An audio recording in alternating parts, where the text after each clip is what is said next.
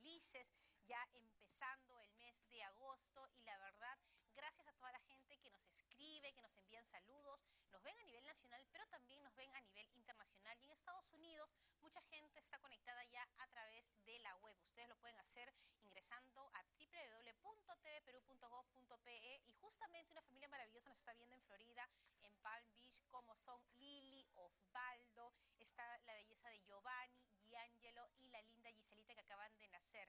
Ellos son mi familia y me cuentan que Metrópolis también, por supuesto, se ve allá en los Estados Unidos. Así que besos para todos ustedes y para todos los que están conectados a la actividad cultural a través del programa. Vamos a empezar entonces contándoles que Lima Foto 2014, esta importante feria internacional donde tenemos la suerte de conocer a las diversas galerías que vienen acá a nuestra ciudad con un propósito, ver qué está pasando con la fotografía. El panorama de este y aquí en Metrópolis les contamos los detalles.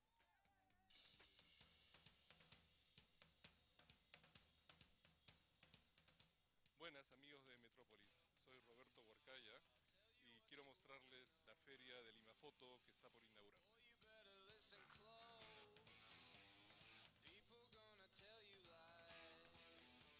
Este Lima Foto eh, vuelve a traer algunas novedades, como todos los años, eh, vamos por su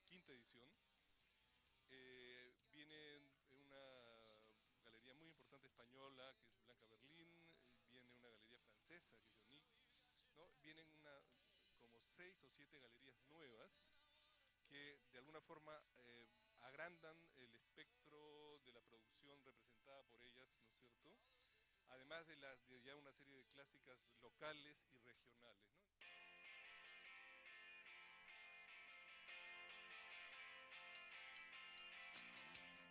lo que se hace es, eh, digamos, el proceso de, esto es que las, las, galerías postulan a la feria y lo que va sucediendo es que cada año tenemos más eh, galerías postulantes, por lo tanto la selección de las 30 que terminan exponiendo en Lima eh, puede hacerse eh, cada vez más rigurosa y con mejores propuestas galerísticas.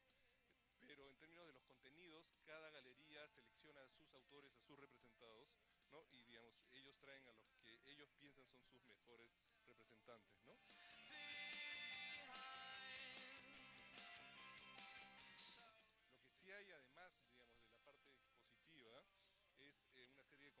Conferencias, eh, en este caso Milagros de la Torre, eh, fotógrafa reconocida peruana que vive en Nueva York, va a ser la invitada. Junto a esta presentación de libros de, digamos, de Milagros, va a haber otra mesa referida justamente a, proyectos editoriales de nuevos, que en, en los últimos meses ha habido una especie de efervescencia muy importante han comenzado a aparecer una serie de, pequeños grupos editoriales que están apostando por, de de autor.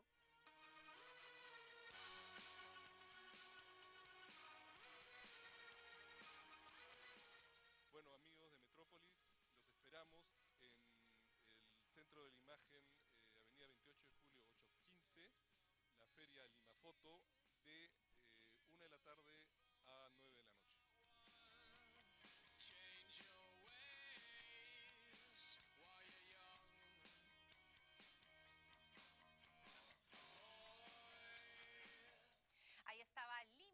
Foto 2014, esta importante actividad que reúne lo mejor de las galerías internacionales. Una propuesta para descubrir qué está pasando con la fotografía. Y nos vamos ahora a la Feria del Libro, que ya este 3 de agosto termina esta edición tan importante, donde el país invitado Chile nos ha traído muchísimas novedades, hemos podido apreciar también parte de su folclore. Son un promedio de 251 stands y muchas actividades, más de 500 actividades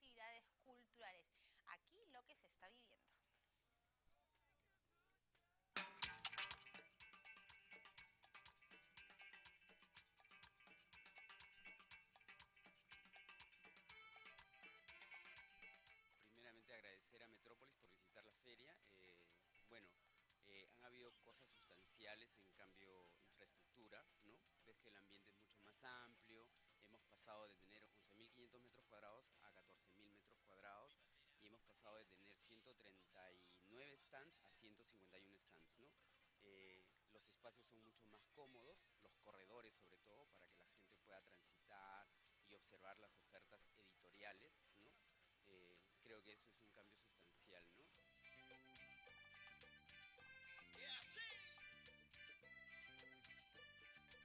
Tenemos más de 50 invitados, ¿no? A los que se está atendiendo, seguimos con los talleres. El país invitado, tanto editoriales como también espectáculos que se han venido haciendo eh, durante el transcurso de la feria, ¿no?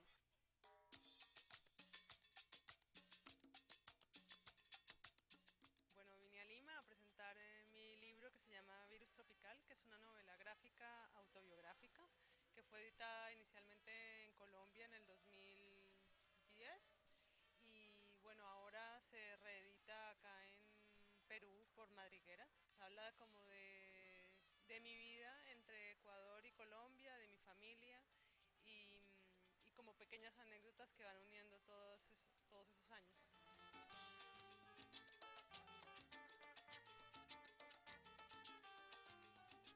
Hola, soy Jorge. Estamos aquí en la Feria del Libro estamos presentando el libro que acabo de publicar, que es Butaca en Primera Fila. Un libro de mini cuentos. Esperamos que les guste a todos. Es un libro de cuentos muy pequeños como para los tiempos actuales, que no hay mucho tiempo para leer. En algunos casos no superan la página, pero hay mm, cuentos muy muy variados. Tenemos cuentos con referentes históricos, cuentos que hacen mención al cine o a la música y a anécdotas de la gente común.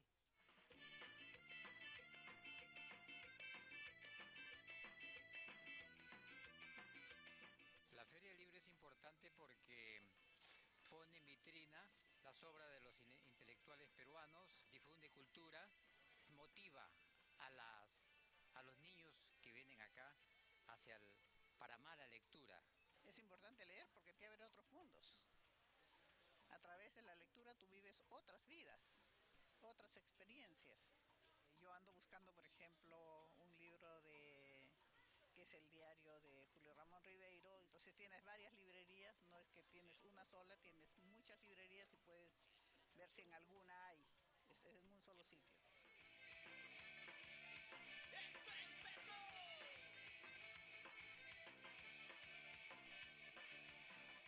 Yo los invito a todas las personas, este, audiencia, audiencia de TV Perú, eh, a que vengan, participen de esta feria que se acaba el 3 de agosto. Es una gran oportunidad de seguir promocionando la lectura y que todos participen pues de la cultura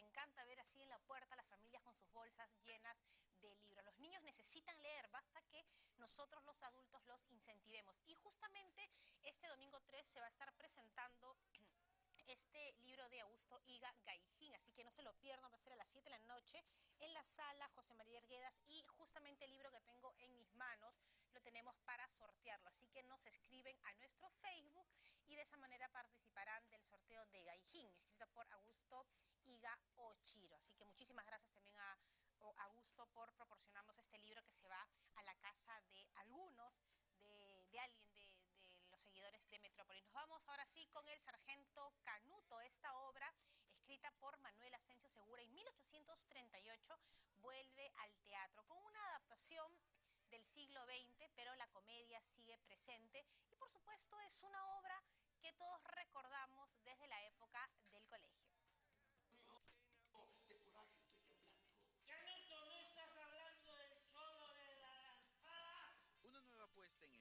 Llega a nuestras tablas. El sargento Canuto, dirigido por Ricardo Morante. Esta comedia estrenada hace muchos años, esta vez llega con una adaptación del siglo XX. Solo quedamos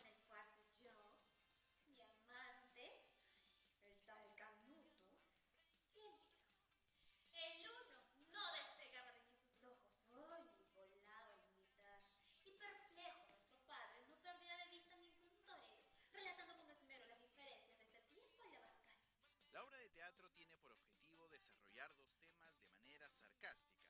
Primero tomando el militarismo representando en los soldados y en el supuesto amor por la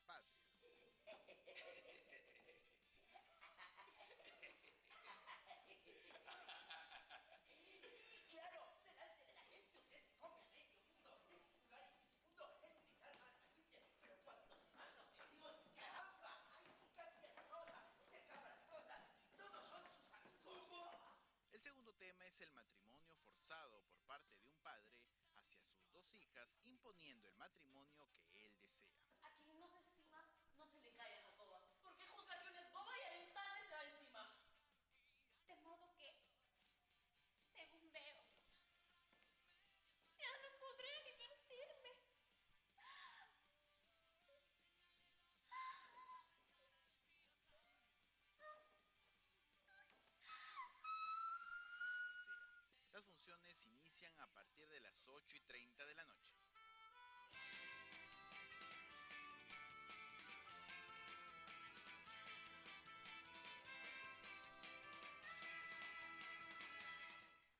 Bueno, ahí estaba el sargento Canuto y de verdad es una obra muy divertida donde vemos a este Canuto enamorador, ¿no? Galanteando a una chica que no lo quiere y está enamorada de otra. Así que no se pierdan esta propuesta como les dije, es una adaptación del siglo XX, obra eh, muy interesante y que, como le dije, también tenía estos recuerdos del colegio, ¿no? ¿Quién no ha representado el sargento Canuto alguna vez?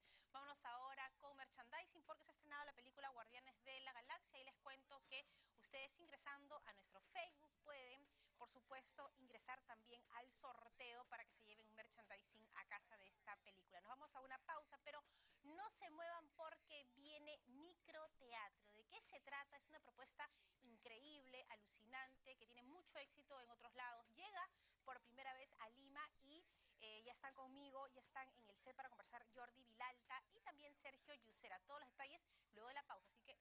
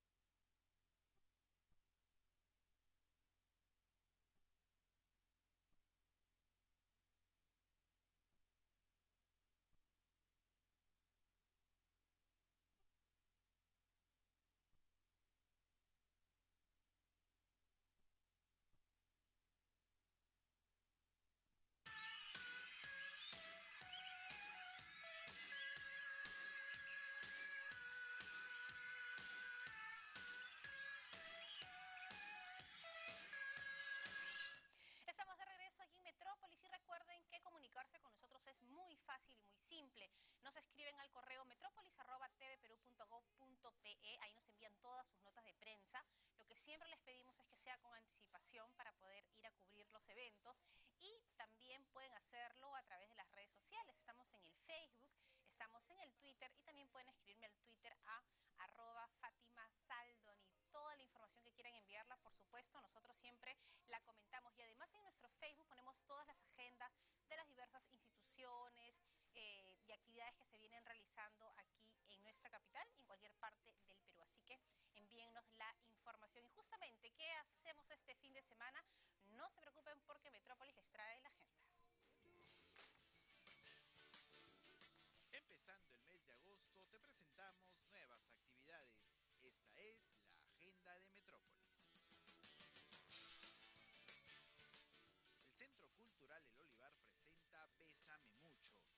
ganadora del Festival de Sala de Parto 2013. La obra cuenta la historia de un matrimonio que atravesando una etapa difícil conoce a sus nuevos vecinos que son totalmente diferentes a ellos. Una comedia que reflejará la realidad de muchas parejas. Las funciones son de jueves a domingo a las 8 de la noche hasta este 3 de agosto. El Circo Estatal de Rusia está presentando en Lima espectáculo circense que nos traslada a un mundo mágico y fascinante con más de 35 artistas en escena. El circo está ubicado en el centro de convenciones del Mariangola. Las funciones van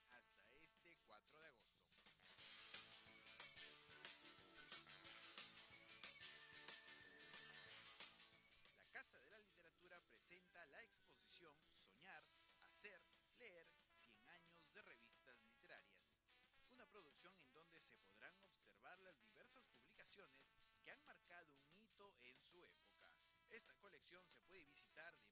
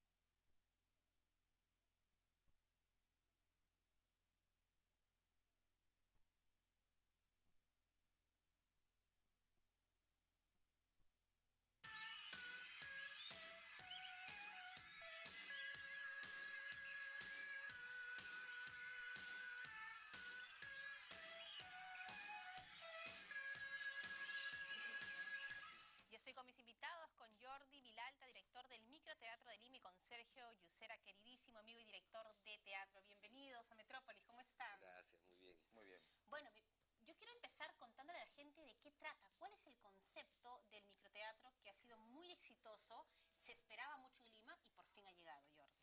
Es un formato consistente en un espacio en el que conviven cinco obras al mismo tiempo en sesión continua. Ujú. Y se habla de un espacio con un tiempo limitado, donde la gente puede también ver varias obras. Efectivamente, es como si fuera teatro a la carta. Tú llegas a microteatro, ves la programación que hay ese día y decides eh, cuánto tiempo quieres dedicarle a ver teatro, cuánto dinero te quieres gastar. Y puedes crear tu propia composición, empezar por la sala 1, continuar con la sala 5. Yo estuve en Madrid en- viviendo un año, y hace dos años, y, y esta es una franquicia española, y es un bar, que acá también va a haber como donde se puede comprar una cerveza, Ujú. comer algo.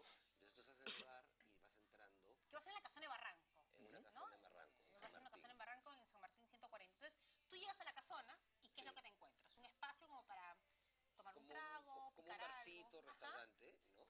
Todo muy bonito en Sí, realidad.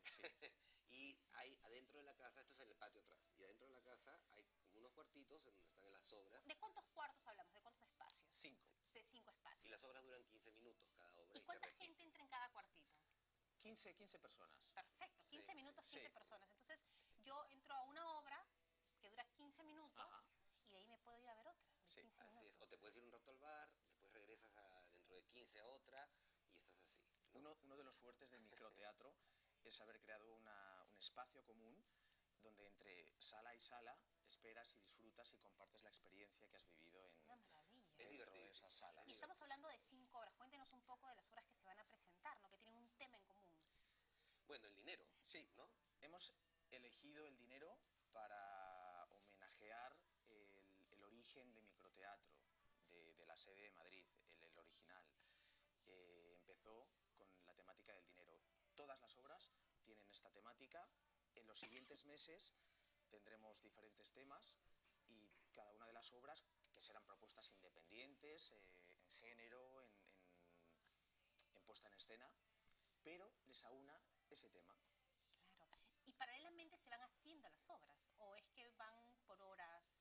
Ah, sí, paralelamente. Por ejemplo, eh, a las ocho y media comenzamos. Sí, sí, Ocho ocho y media media. comienza un- un- una, una ronda de obras, luego ocho, eh, a las nueve, cada media hora, sala 2 a las ocho y media, a las nueve la sala 3 y así. De repente no quieres a las nueve y media, sino a las 10 y te vas a tomar a comer al bar afuera, ¿no? Y luego de repente ya entras a la siguiente. Y bueno, pasa la noche, ¿no? Y está súper bien. Y sobre la obra que vas a dirigir, Sergio. Yo voy a dirigir una obra que se llama Tacones Enanos. Estas obras son, creo que casi todas, excepto una, eh, española, ¿no? Sí. De, de la matriz, digamos. Porque esta es una franquicia que está en Lima, está en Buenos Aires, en diferentes ciudades de América Latina y en, En España México, también. en Londres. En Y con Londres. mucho éxito. Sí. Y con mucho. Y es más, eh, bueno, en la obra que estoy yo está Denise Rey y Natalia Consiglieri.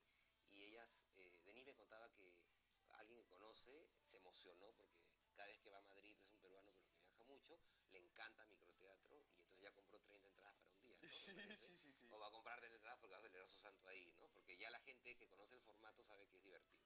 Bueno, y la obra nuestra es una, una mujer, una mujer, eh, una ama de casa que va a asaltar a un banco, pero con la torpeza de una ama de casa que nunca ha asaltado un banco, ¿no? Entonces se da una serie de situaciones graciosas, pero que también exponen un poquito, eh, digamos, una situación de una familia empobrecida que, está buscando de alguna manera salir de su situación crítica, ¿cómo es el trabajo con la gente de acá, con esta experiencia que se conoce, por supuesto, y los que hemos tenido la oportunidad de viajar fuera, de verla, pero el trabajo ya aquí en Lima, con los actores, el saber que hay salas paralelas, que son obras de 15 minutos, que tienes esta cercanía con el público, ¿cómo, cómo lo han ido manejando, cómo lo han ido viendo?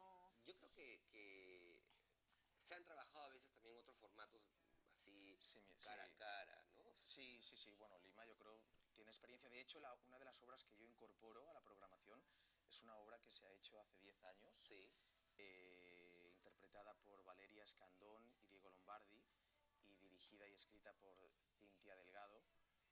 Y es, es- creo que se hacía en escenarios, se estrenó en el Teatro Británico, pero tenía este formato de 10 minutos. Quizá la proximidad del público no era como la que se van a encontrar ahora, pero creo que en, Lima ya ha habido... Claro, yo me refería a- al hecho del microteatro, a Claro. este espacio compartido, Es un reto, a, ¿ah? ¿no? Es a un los reto. actores Sí. que saben que paralelamente hay, Hay otros, otros. actores, las ganas de también estar al otro lado de repente, Sí, ¿no? claro. O sea, tú como Todos actor, quieren ver todo. todo el mundo quiere estar ahí y, y finalmente se da algo muy enriquecedor entre todos Sí. los participantes, ¿no? La parte de producción, la Sí. parte técnica, los actores, los directores, los que están a la cabeza, ¿no? No, es un reto enorme porque además este, el nivel de proximidad obliga a que los actores tengan mucha verdad, ¿no? Entonces se va a trabajar, digamos, este, la teatralidad en el, en el mal sentido de la teatralidad, hay que eliminarla, ¿no?